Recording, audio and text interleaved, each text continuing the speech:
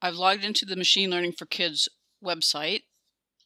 The URL is machinelearningforkids.co.uk.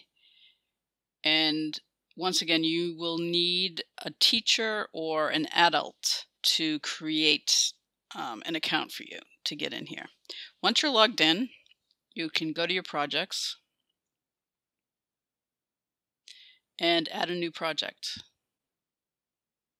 For this one, we're going to call it Iris Predictor. And under recognizing, we want to recognize numbers. We're going to add a value. The first value will be sepal. Let's do this in the order that's in the sheet. So we've got um, sepal length, sepal width, petal length, petal width. So let's do it in that order. So let's call this sepal length and the type it will be is a number. And then we've got sepal width and this is also a number. We'll add another value. This will be petal width number and add another value which will be the petal length also a number so we've got our four values that we're going to be inputting and we'll click create. Now we can open this up and we want to start training it. And this is where we're going to create the three labels, which are the, our three kinds of irises. So we're going to add a new label and we're going to call this iris setosa. So the what, what I'm going to do here so that I can see both of these, I'm going to just make this a little bit smaller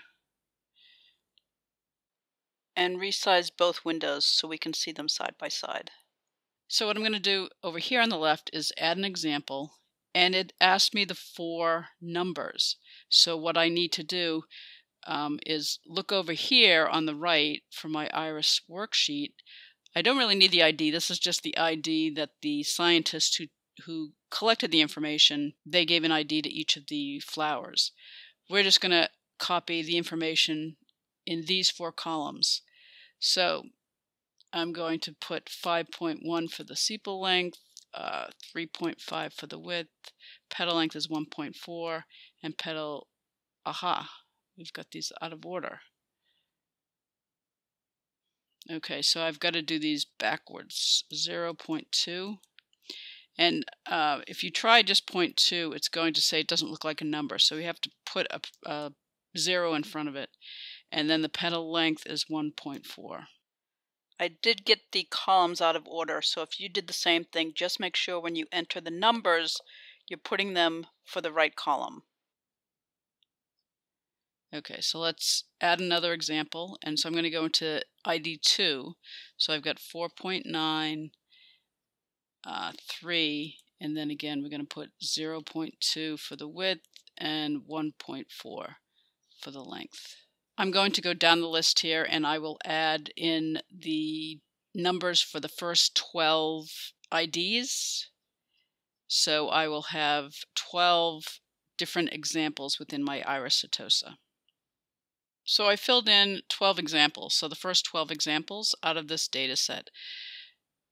Looking through the Google Sheets, they provided us with 50 of each type of iris.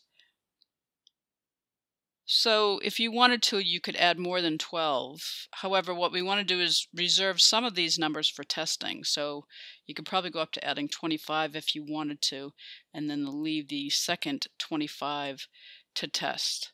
But at any rate, I think 12 is a good number to get started with. So what we're going to do is add a second label for our second type of iris, and that is iris versicolor. So we'll add that. And if we go down on our Google Sheet here, so starting here at um, 51 is where we'll start. So we'll start adding those in. So 51 is uh, 7, 3.2, and again we have to reverse these two. So it's 1.4 for the width and 4.7 for the length of the petal. And I'll just keep continuing to add those for the versicolor. And then finally we'll add the third label, which will be Iris virginica. So go ahead and add 12 examples for versicolor and for virginica.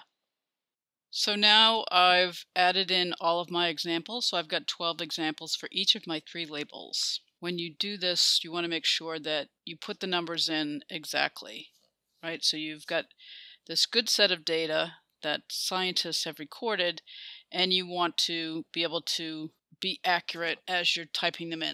Once you've added your 12 examples for all three, click on Back to Project. We've finished the training, now we're going to learn and test. What have we done? We've collected 12 examples for Iris setosa, 12 for Iris versicolor, and 12 for Iris virginica. So what's next? We're going to start training it. So we click the button that was very quick.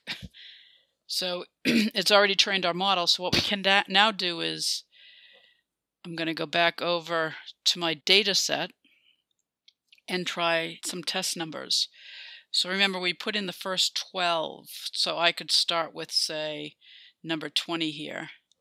Um, and we could try to put this in. So let's say 5.1 and 3.8 and again reversing the order of these two columns. So it's 0.3 for the petal width and 1.5 for its length. So if we test this, recognized as Iris setosa with 100% confidence. So that's great. Let's try another one for Iris versicolor. And again, we don't want to take the first 12 because those were part of our training set. So we could go down here to say number 70, uh, 5.6, and 2.5 and 1.1 and 3.9. Testing that. Iris versicolor. Again, 100% confidence, which is really good. Let's go down and try to test an Iris virginica. 5.9, 3, 1.8, and 5.1 for our four numbers and testing it. Iris virginica. So that's really good with really good confidence. We could test a few more, so it, it might pay to pull out a few more examples for each of the three and test it here. So the fact that we've got 100% confidence, that's really good.